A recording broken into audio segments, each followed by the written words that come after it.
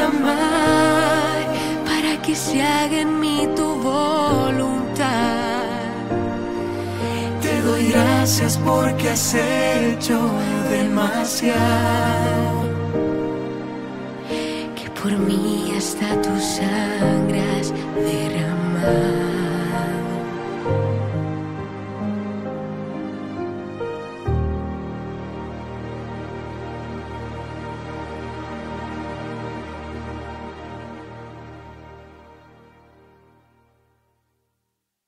queridos peregrinos, parece mentira que hemos llegado ya a nuestro último taller.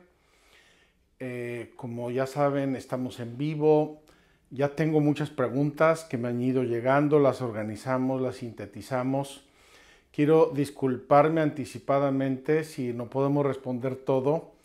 Hay muchas preguntas y muy buenas, muy pertinentes. Algunas que merecerían un jaloncillo de orejas porque son cosas que ya dijimos pero vamos a ver si en esta síntesis que hemos hecho eh, podemos responder. Y aquí está Berta, que está tomando notas y está siguiendo. Si hay alguna pregunta importante, me la pasas y la respondemos con mucho, con mucho gusto. Eh, les recuerdo, estamos ya al inicio de la Semana Mayor, la Semana Santa. Ojalá que la vivamos en un clima de oración, de contemplación, de unión con Dios. Y si tenemos días ajetreados por diversos motivos, busquemos algún momentito especial para estar con Dios, unirnos a Él, pensar en Jesús, pensar en la Santísima Virgen. Aquellos de ustedes que puedan participar en las ceremonias de la Semana Santa, pues recuerden, la Semana Santa es una micro peregrinación a Tierra Santa es una peregrinación pequeña que vamos haciendo con Jesús siguiendo la pasión. Muy bien, sin más introducciones porque tenemos mucha tarea que contestar. Mm, tengo casi 20, 25 preguntas, por lo cual voy a ser muy sintético, casi telegráfico, si me permiten, para poder responder más preguntas. Primero, sobre distracciones en la oración. Me dice aquí una peregrina, ¿qué hacer cuando no me siento con deseos de orar? Miren, la oración, como las cosas importantes de la vida, no pueden depender de las ganas. No tengo ganas. Ah, hoy sí tengo ganas tiene que ser una convicción muy profunda y una decisión de vida. Si lo soy sincero, a mí no me da ninguna gana de inyectarme cuando necesito una inyección. No me da ninguna gana de ir al dentista cuando necesito ir al dentista, pero voy porque lo necesito. Y la oración la necesitamos. Nuestra alma necesita respirar si le quitamos una pata a nuestra mesa, se cae. Entonces, cuando no tienes ganas, tienes que sobreponerte y hacer un esfuerzo. Entonces, probablemente no sea una cosa súper espontánea, pero es una cosa que brota de tu amor a Dios y de tu amor a ti mismo. Porque si yo me amo a mí mismo, hago todas las cosas que me convienen y que me hacen bien y que debo hacer. Si uno se levanta un día por la mañana y dice, no tengo ganas de ir a trabajar, lo corren. Así de sencillo. Entonces, repito, la oración no es un tema de ganas o de deseos espontáneos, sino de convicción y de una decisión muy grande. Esa es la primera pregunta. Espero que quede muy claro. si una mamá dice, hoy no tengo ganas de cocinar en mi casa, pues comienzan los problemas, ¿verdad? Hay que cocinar aunque no tengas ganas.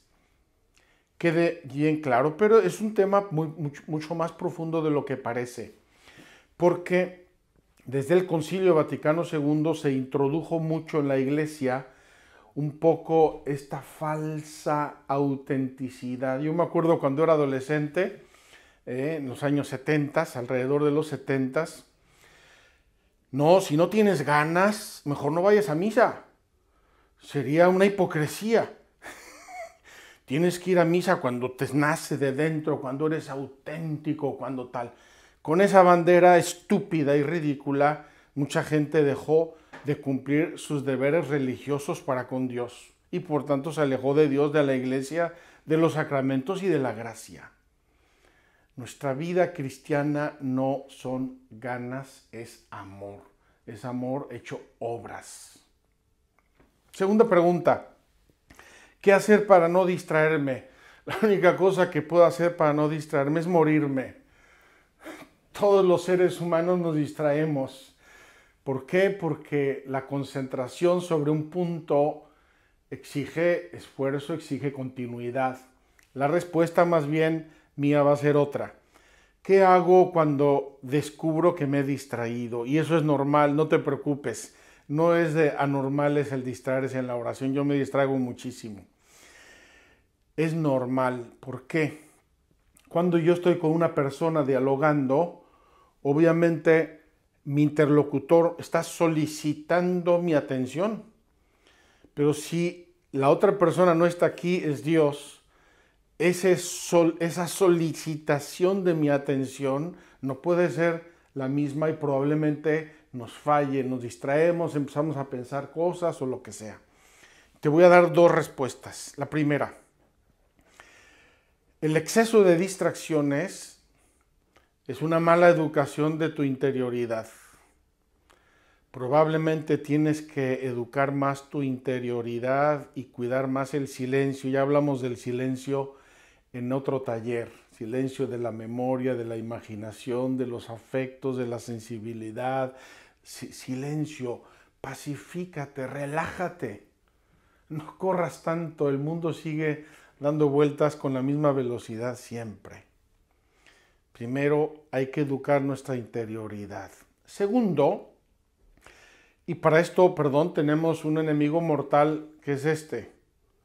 Porque este nos está llamando la atención. Ahora me mandan un mensaje de Argentina, mañana de México, pasado de no sé dónde. Uno se está muriendo, el otro es un, es un meme, el otro es un video, me hablan de las elecciones. Tengo la mente en 20 cosas.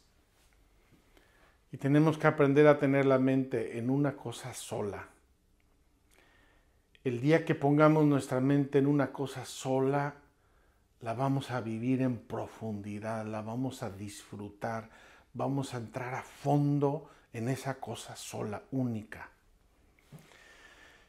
Nos han maleducado los medios de comunicación porque nos jalan la atención. No es que yo aprendo a poner mi atención en algo, sino que me la están jalando.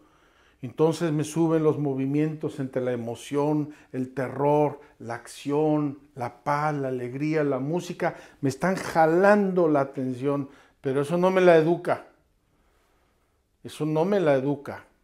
Eso me la deseduca. Entonces, primera cosa, educa y cuida tu interioridad. Cuídala mucho.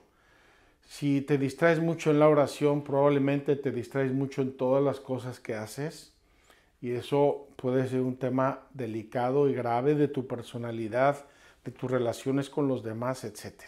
Segundo, si descubres que te has distraído en la oración, olvida la distracción y concéntrate nuevamente en lo que estabas meditando, reflexionando o contemplando. Ya les comenté que cuando yo era novicio, me dijo mi padre espiritual ante esta, este problema, esta pregunta, ¿y qué hace hermano? Y dije, pues entonces empiezo a pensar en qué estaba distraído y por qué me distraje y me sigo distrayendo con la distracción de la distracción. y me dijo, olvide la distracción y vuelva a concentrarse en su oración. ¿Por qué me distraje? No me importa tengo que meditar esto y sigo meditándolo, sea una lectura, sea una oración vocal, etc. Contaban a propósito del Padre Nuestro y de las distracciones que San Bernardo le ofreció a un agricultor muy rudo, le dijo, mira, si rezas un Padre Nuestro sin distraerte, te regalo un caballo. Ah, sí, sí, sí, sí, claro que sí. Padre nuestro que estás en los cielos, santificado sea tu nombre, venga a nosotros tu reino. Haga... ¿De qué color es el caballo? y con eso lo perdió, porque la idea era de no distraerse rezando un Padre nuestro. Entonces, si me descubro distraído, ignora la distracción y vuelve una y otra vez a tu oración. Haciéndolo, haciéndolo constantemente, nos vamos educando, nos vamos preparando, etc. Y también vamos madurando nuestra vida de oración. No es la misma la atención de un niño de kinder en la escuela que de un profesionista o de un universitario. No puede ser la misma y también en la vida de oración se van pasando por grados de educación, de madurez y de dones de Dios. ¿Cómo vencer las tentaciones en la oración? Pues eh, depende si son tentaciones contra la oración o son otras tentaciones. Ya saben que el Padre nuestro termina diciendo no nos dejes caer en la tentación y líbranos del mal. Entonces hay que insistir en la oración contra las tentaciones. Pero quiero darles un, un tip. A veces el orar mal contra las tentaciones nos empuja más a ellas. Porque la primera cosa que yo tengo que mantener ante una tentación es la calma. Mil tentaciones no hacen ni un pecado, ni siquiera una imperfección. Todos, todos, todos, hasta Jesucristo quiso verse sometido a la tentación. Entonces hay que mantener la calma. Si yo entro en pánico y en ansia, y a veces podemos entrar en este clima a través de la oración, Señor, por favor, ayúdame, quiero vencer, no me dejes caer, por favor, y me estoy enredando más. La calma, la paz, la serenidad ayudan mucho a hacer una verdadera oración contra las tentaciones. Y si la tentación es de dejar la oración, pues tienes que insistir más en, tu oración contra la tentación de dejar la oración, para que eh, tu madurez espiritual vaya creciendo y perfeccionándose. Hay veces que rezando me da sueño y trato de rezar u orar ¿Es tentación? No, no es tentación, es sueño. Yo no puedo decirle a mi cuerpo, deja de sentir sueño. No sientas hambre. No puedo. Es imposible. Lo que hay que hacer probablemente es, si me viene el sueño, pues me levanto, cambio de postura, me arrodillo, me siento, me levanto, camino un poco, con serenidad, con con realismo, con naturalidad. A veces puede ser que estemos tan cansados que nuestra oración sea solo la lucha contra el sueño. Puede ser. Yo tuve un novicio hace muchos años que se dormía hasta en la fila de la comunión. Era una cosa increíble, nunca vista. En la fila de la comunión se quedaba dormido.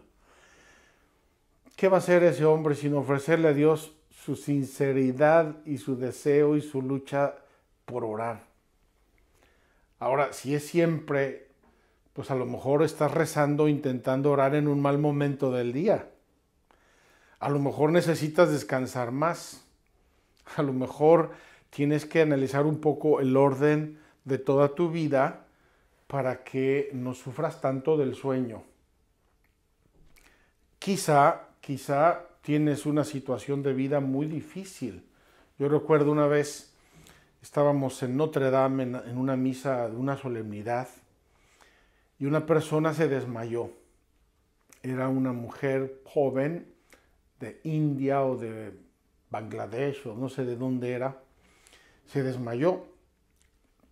Después de la misa me acerqué a saludarla, a preguntarle si necesitaba algo y qué le había pasado. Me dijo, no, padre, no se preocupe, no me pasa nada. Lo que pasa es que trabajo con una persona anciana y esta persona no me deja dormir.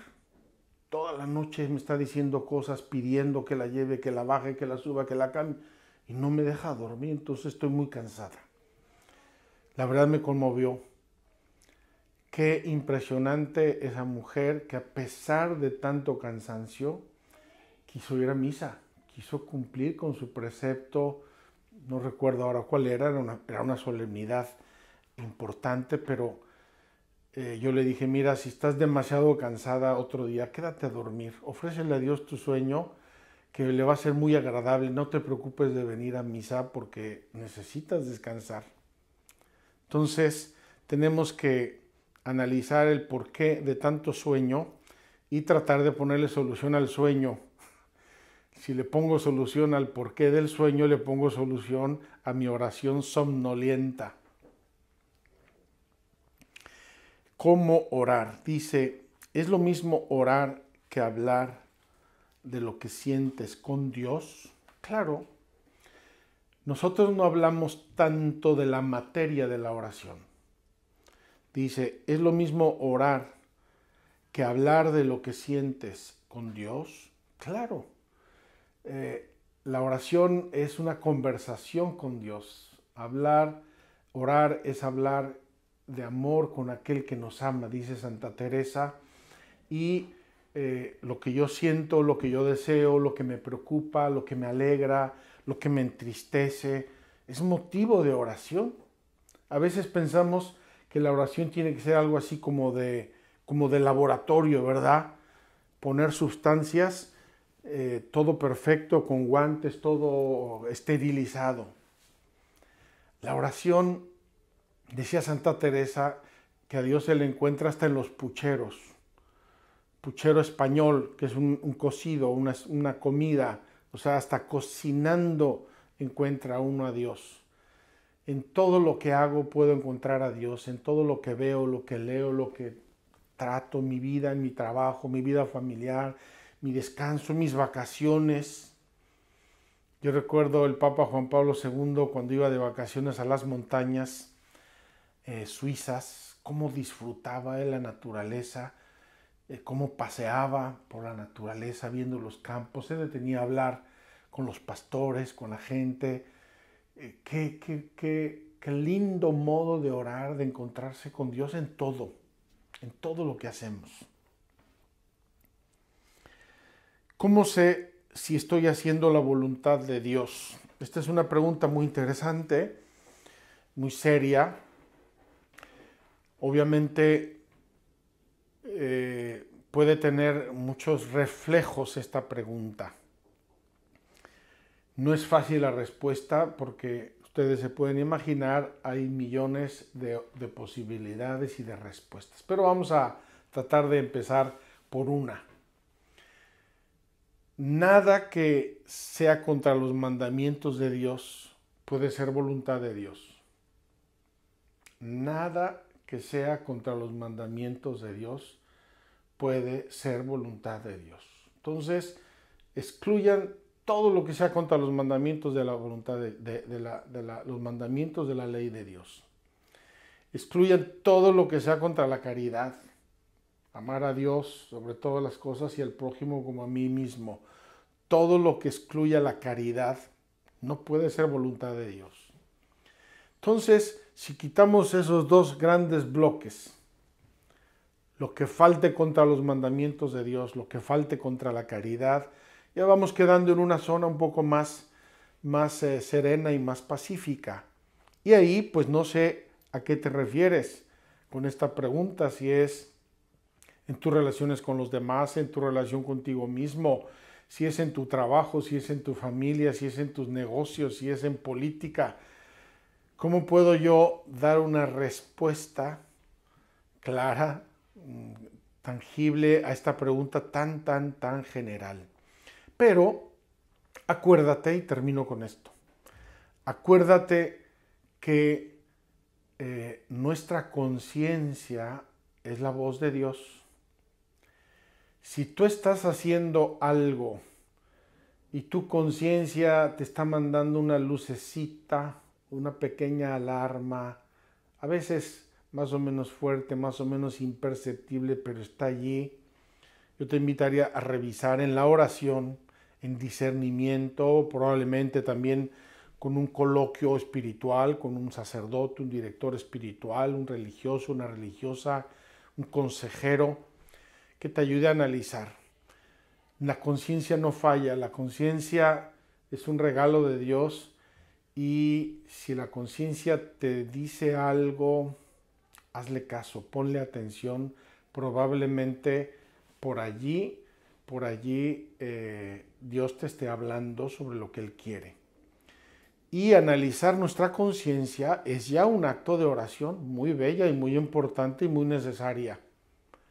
Prepararme para una buena confesión, hacer un pequeño examen de conciencia diario, revisar cómo va mi vida, cómo va mi trabajo, mis relaciones con los demás, mi familia, mis amistades, lo que veo, lo que dejo de ver, los espectáculos que veo, cómo va mi conciencia, cómo va mi vida. Y eso seguramente me va a ayudar mucho a orar. ¿Hay algún lugar o postura en específico para orar? De rodillas, acostado en la cama, etcétera. Tiene puntos suspensivos. Yo les voy a ser muy sincero. Eh, dice Jesús en el Evangelio que entres en lo secreto. Entonces, en la medida de lo posible, hay que buscar lugares o momentos de oración en los cuales puedo estar en paz conmigo mismo y con Dios. Entra en lo secreto y tu Padre que ve en lo secreto verá tu oración. Puede ser de rodillas, puede ser sentado, puede ser acostado. Yo de neo sacerdote, apenas ordenado sacerdote, estuve enfermo mucho tiempo en la cama, como dos meses. Y aprendí a orar en la cama. Entonces, a mí hasta la fecha, con relativa frecuencia, no me, no me, digamos, no me hace mal, al contrario, me ayuda recostarme en la cama, obviamente bien dispuesto, ¿no? Ahí acostarme en la cama, ponerme en la presencia, me ayuda a recogerme. Sabemos del Papa Juan Pablo II que oraba postrado en el suelo. Se postraba en el suelo, yo lo he hecho algunas veces en algunos retiros, en algunos ejercicios espirituales. Mucha gente prefiere orar de rodillas. Ahora, yo les diría, no se fijen con clavos, no se fijen en este o este o este modo, cuál es el mejor. El mejor es donde oras mejor con tu Padre Dios. Porque a veces, por querer estar de rodillas a toda costa, estoy más pendiente del dolor que tengo en las rodillas, de que ya me duele la espalda, de que ya me cansé, de que ya llevo media hora. Eso no lo puede eh, agradar a Dios. Eso no se trata, de eso no se trata la oración. La oración se trata de confianza, de diálogo, de abandono, de humildad, de conocimiento de Dios, no de rodillas de monja o de rodillas de fraile. Entonces, cualquier lugar y cualquier postura digna y respetuosa puede valernos para hacer oración y es bueno que tú descubras la tuya. Hace unos años hice unos ejercicios espirituales de un mes, un mes en silencio. Fue una experiencia preciosa, aunque a mí me costó mucho. Y un día eh, fui a hablar con el director espiritual y el director de los ejercicios, que era un padre jesuita con mucha experiencia, y me lo encuentro sentado en su, cama, en su, en su silla, envuelto en una manta hasta acá. y me dijo, padre, así oro yo. Así suelo orar yo y así me ayuda y así me encuentro muy fácilmente con Dios. Pues mira, bendita manta, le salió bien barato el tema. Dice, si un método de oración me aburre o me cuesta trabajo, ¿significa que no es para mí? ¿Debo perseverar? Miren, no confundan la oración con el método. No confunda la oración con el método. Es verdad que los principiantes tenemos que acogernos al método y seguirlo y podemos confundir método y oración. poco a poco el método es lo de menos. Lo importante es la oración. Si te cuesta trabajo, es buen signo. Estás orando. Si te cuesta trabajo, es que lo estás siguiendo.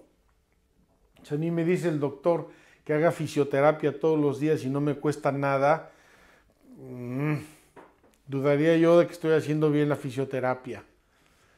Normalmente esas cosas, sobre todo en el tiempo, cuestan. Persevera, persevera en la oración, insiste en tu oración. Y si definitivamente ves que no te ayuda ese método, cámbialo. No confundas método de oración con oración. El método es un instrumento, puede cambiar, es accidental completamente lo importante es la oración, el hablar con Dios. Siguiente pregunta dice, ¿cuándo hago una súplica con tristeza o desesperación a Dios? ¿Esto es orar? ¿O solo son los momentos de paz? Yo le voy a responder a quien me hizo esta pregunta que vea la Biblia. Jesús en Getsemaní estaba con mucha paz. Eh, los, los, profetas, Jeremías, Moisés en algunas ocasiones estaba con mucha paz. Moisés estaba airado, irritadísimo con el pueblo porque se puso a adorar un becerro de oro y volvió 40 días y 40 noches al monte Sinaí. Estés como estés, necesitas orar. Si estás triste, para superar la tristeza. Si estás desesperado, para encontrar paz y, confianza. Si estás feliz, para agradecerle a Dios. Si estás en paz, para gozar de la paz. Siempre tenemos que orar. Siempre. Es una parte esencial de nuestra vida cristiana, como el respirar para nuestro cuerpo. Cuando se ora con un método Solo se tiene que hacer ese. Se pueden combinar varios métodos de oración. Ya les dije, usen con libertad los métodos. Lo importante es orar, contemplar, meditar, dirigirnos a Dios. Y como ya les dije, también la persona humana va cambiando, va evolucionando. Uno tiene momentos en la vida, tiene em, circunstancias de salud, de trabajo, muchas cosas que te llevan a, necesitar otro tipo de oración. Y a veces, a lo mejor, no puedes decir nada más que, Señor, aquí estoy. Señor, estoy hecho polvo, estoy hecho trizas, estoy enfermo, me siento mal, estoy cansado, estoy deprimido. Dicen que una vez entró la enfermera de Santa Teresita del Niño Jesús a su habitación, a su celda, cuando ya estaba muy grave, y le preguntó, ¿qué hace hermana Teresa? Estoy orando. ¿Y qué le dice a Dios? No le digo nada. No le digo nada. Solamente estoy en su presencia. Fíjense qué hermoso. Estaba grave, muy enferma, probablemente ya preveía su muerte. ¿Qué le dice a Dios? Nada. Aquí estoy, estoy con Él. Le ofrezco mi nada. Qué ejemplo de oración tan perfecta y tan santa. Teresita no sé si escrúpulo sobre distracción sí, distracción no, método sí, método no. Cuando estaba llena de gozo se lo ofrecía a Dios, cuando no le podía decir nada, pues no le decía nada. Herramientas para orar. Dice aquí, esta pregunta tiene un poco de curva, o estas preguntas, porque eran varias. ¿Es válido incorporar plataformas externas en mi oración? Podcast, videos de YouTube, música, etcétera? Les voy a contar una anécdota Ahora en diciembre beatificaron a un gran cardenal que yo conocí, traté mucho, fue mi amigo y mi, y mi padre y mi maestro, el cardenal Eduardo Pironio, un hombre de Dios, beato. Él se enfermó en una ocasión y fue a Estados Unidos donde lo operaron. Su operación fue exitosa y él quedó con mucho agradecimiento a su médico. Este médico era católico de un grupo muy carismático, subrayo el muy carismático. Entonces el cardenal, como un gesto de deferencia y de, gratitud, le dijo, doctor, venga a Roma y le voy a pedir al Papa si puede usted participar en una misa con él. Sí, sí, sí, cómo no, claro. Se fue a Roma y estuvo en la misa privada del Papa Juan Pablo II. Yo estuve una vez ahí, era impresionante, me encantó. Saliendo, después de un rato fueron a desayunar, el Papa celebraba siempre a las seis y media o siete de la mañana. Fue una desayunaría y el cardenal le preguntó, ¿qué tal, doctor? ¿Le gustó? Y a mí me pareció el Papa como un poco aburrido. El Papa aburrido estaba celebrando la misa, no estaba haciendo un concierto o un, party de no sé qué. Les dije muy carismático. Esos grupos que insisten demasiado en la música, demasiado en el ambiente, demasiado en la exterioridad, tienen el riesgo de perder la interioridad o confundirlas. Si fue divertida, fue muy bonita la misa. Si no fue divertida, no, no, no me valió. Entonces, quiero eh, responder a esto. Las ayudas externas, o como dice aquí esta pregunta, las plataformas externas, pueden ser una ayuda con tal de que no me sustituyan. Si yo soy muy emotivo y muy sentimental, y yo lo soy, y pongo música preciosa, te alabo Señor, qué maravilla, tal, probablemente la música sea un caballito que me lleva donde yo ya no camino. Sea una silla de ruedas que me lleva donde yo ya no camino. Entonces yo me siento muy feliz porque voy, voy por el campo y voy viendo mariposas, tal, pero estoy apartándome del camino, lo estoy dejando. Entonces una música me puede ayudar. Si necesito siempre música, si no, no puedo rezar, algo está pasando algo está pasando. Si yo necesito siempre un video, algo que me esté solicitando la atención, si no, no puedo rezar, algo está pasando. Porque finalmente la oración es mi intimidad, es mi alma, es mi interioridad con Dios, unida a Dios, contemplando a Dios, hablando con Dios, agradeciéndole a Dios, alabando a Dios, adorando a Dios. Y no sintiéndome muy bien, muy contento y muy emocionado, porque la música es preciosa. Yo a veces veo personas en la capilla con sus ah, audífonos, están en las nubes. No me atrevo a, juzgar si están bien o están mal, pero no vayas a confundir un gozo demasiado sensible con el gozo espiritual de estar unido a Dios. Son dos cosas que se pueden ayudar, pero también se pueden obstaculizar. Oración de contemplación. ¿Cómo se hace y cómo se llega a la oración de contemplación? Ya les dije que la oración de contemplación es la oración más perfecta. Empezamos por la oración vocal, repetimos oraciones, etc. Seguimos con la meditación, la reflexión sobre verdades, textos, pasajes, etc. Y de ahí saltamos a la contemplación, lo cual fundamentalmente es un don de Dios. Es un don, es una gracia. Y Dios se la regala a cualquier persona cuando Él quiere y como Él quiere. Yo conozco personas humildísimas, sencillas, ignorantes, que viven unos niveles de contemplación impresionantes.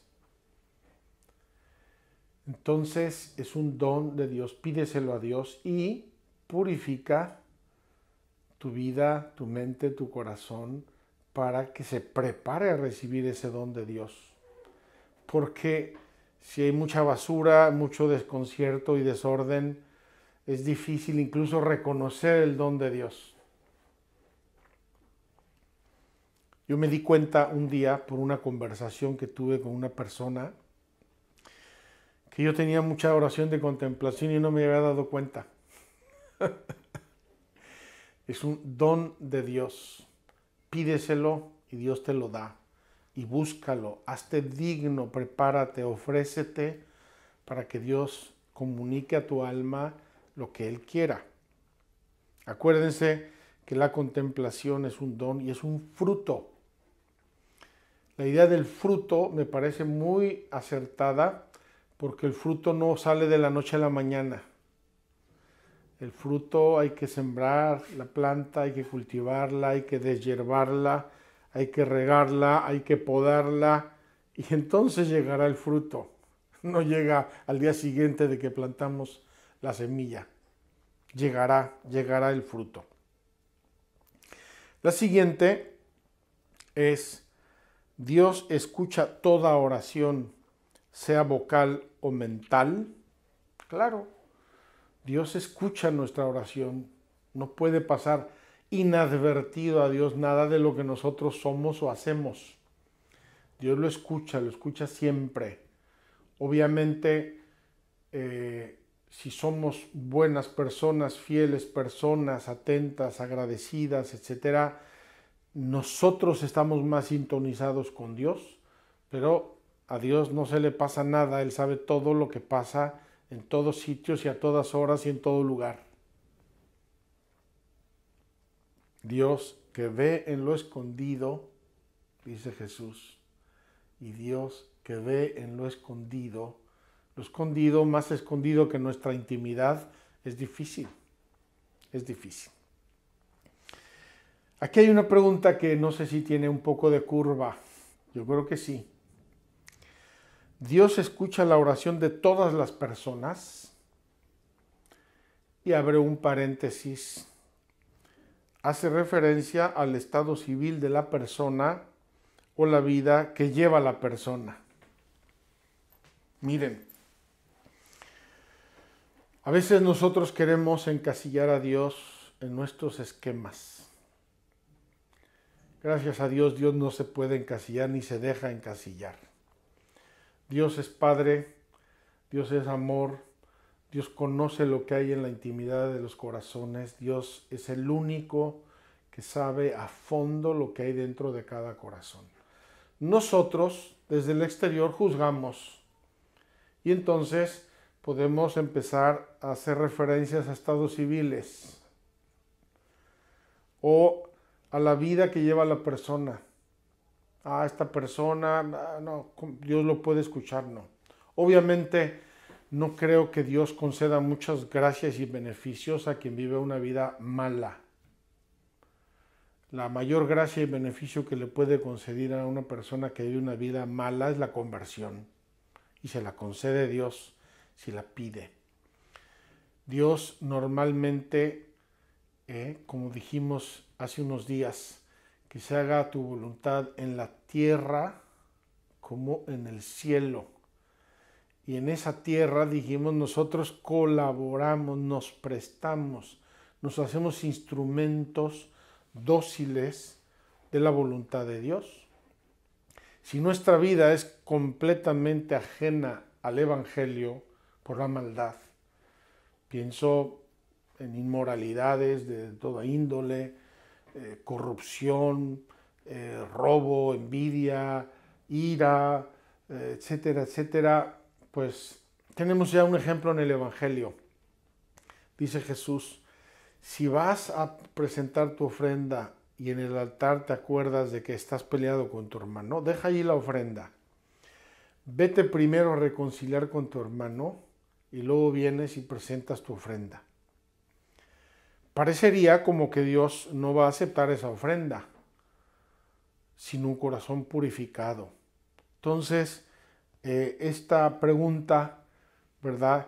Eh, no sé muy bien qué, antecedentes tenga, no me atrevo yo a, hacerle, a aplicarlo a un estado más que a otro, a una situación más que a otra, pero todos somos hijos para Dios.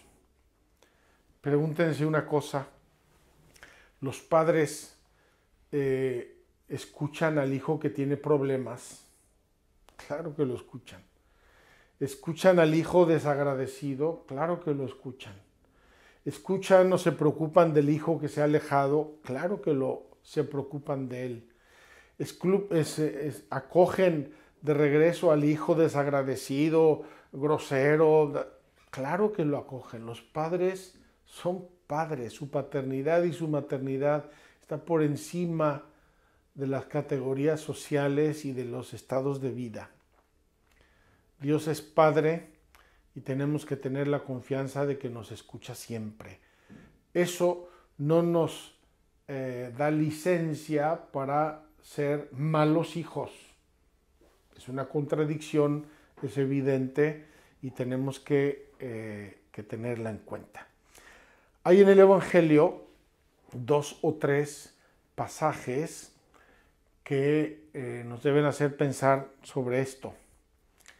Dice el Evangelio, sobre todo en la comida que ofreció Mateo a Jesús. Estaban ahí muchos publicanos, prostitutas y pecadores.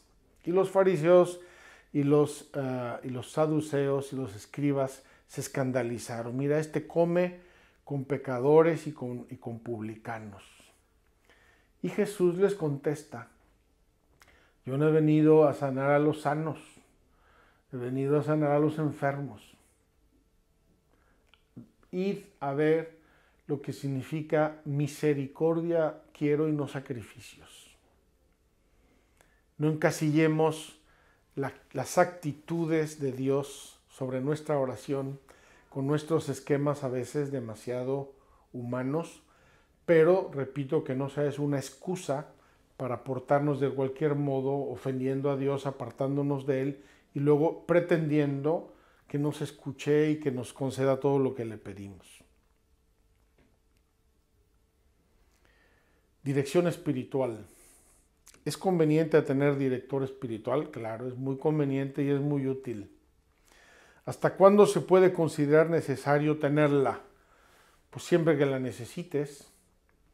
Ustedes los sacerdotes también tienen dirección espiritual. Claro que tenemos dirección espiritual yo no sé si todos los sacerdotes del mundo, pero es algo muy recomendable y nosotros, legionarios, tenemos todos nuestro director espiritual y pasamos con periodicidad a conversar con él, a platicarle nuestra vida, a pedirle consejos ante dudas, ante decisiones, ante crisis, ante iniciativas, ante apostolados.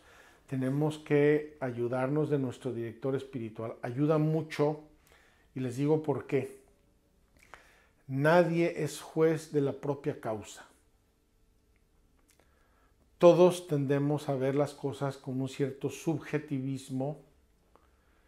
Tendemos a, verla, tenemos, a llevar el agua a nuestro molino y un buen director espiritual nos ayuda a dejar que el agua vaya al molino de Dios siempre. Ayuda mucho y lo recomiendo, aunque sé tristemente que muchos sacerdotes no la valoran, no la, no la ejercen, no la ofrecen o no se sienten capaces. Y eso es una pena porque un alma que quiere seguir de cerca los, los llamados de Dios, que quiere crecer en la santidad, necesita normalmente un consejero, una ayuda, un director espiritual.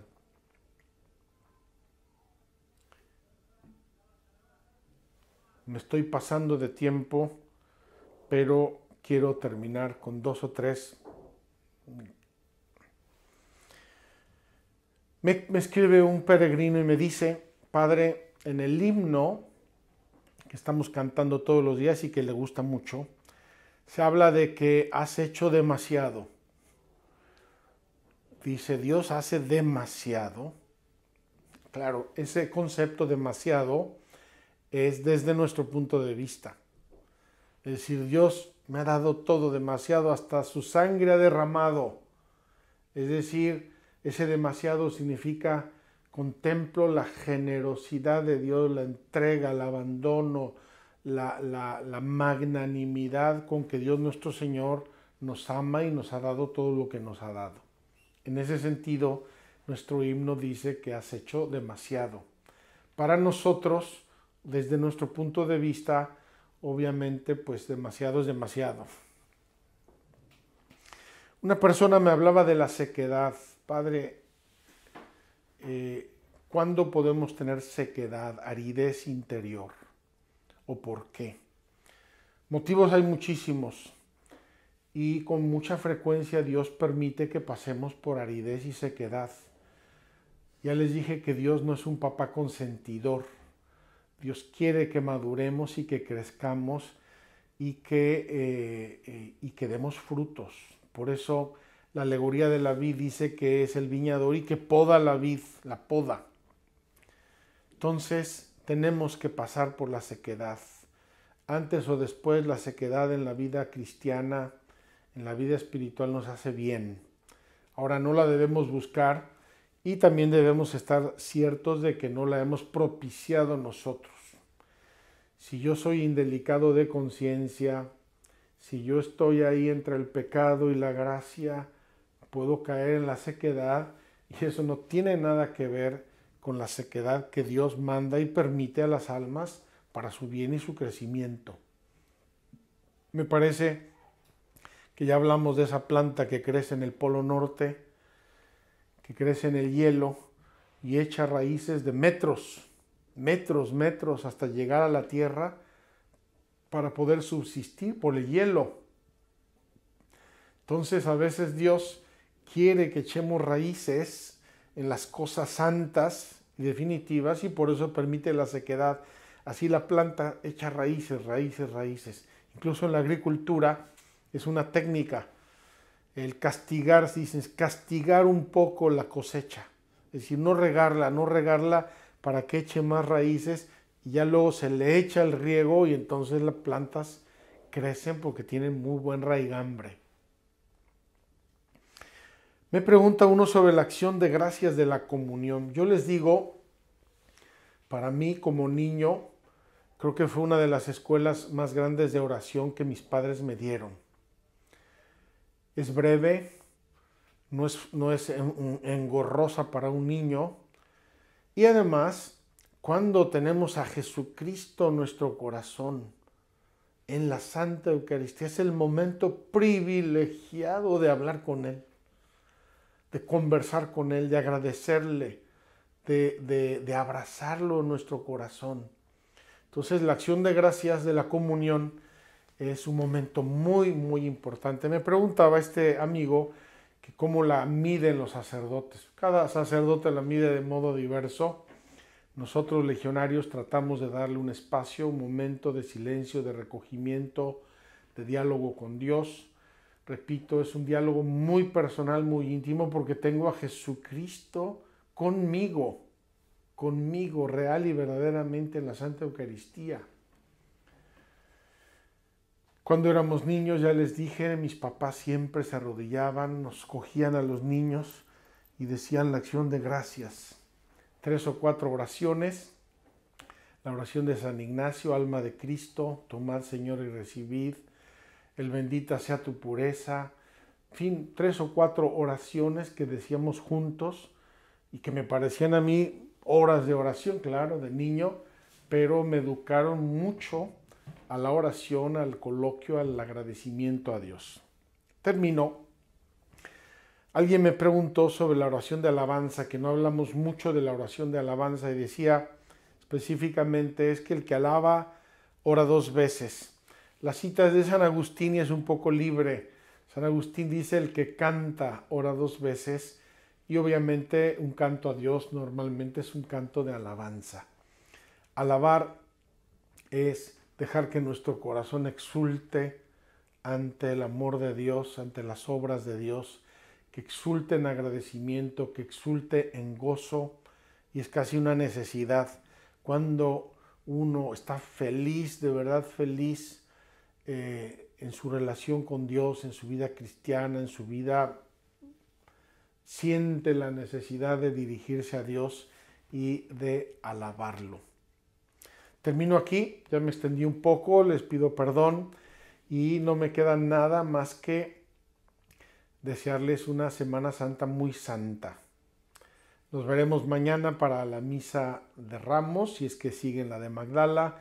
Si no vayan a sus parroquias, ya es tiempo de ir a la misa presencial porque ya la pandemia quedó atrás. Vayan a sus parroquias, vayan a sus iglesias, participen, lleven sus ramos, grítenle a Jesús, bendito el que viene en nombre del Señor. Y nos vemos lunes, martes y miércoles para las últimas catequesis de nuestra peregrinación y luego quedamos en el triduo sacro hasta la resurrección del Señor y nuestra rifa de conclusión de la peregrinación como hemos hecho en los años anteriores. Vamos a ver qué se nos ocurre rifar en esta ocasión. Esperamos que muchos premios y que eso les alegre también el corazón. Gracias, que Dios los bendiga. Sigamos orando unos por otros para que Dios nos conceda el don de la oración. Gracias.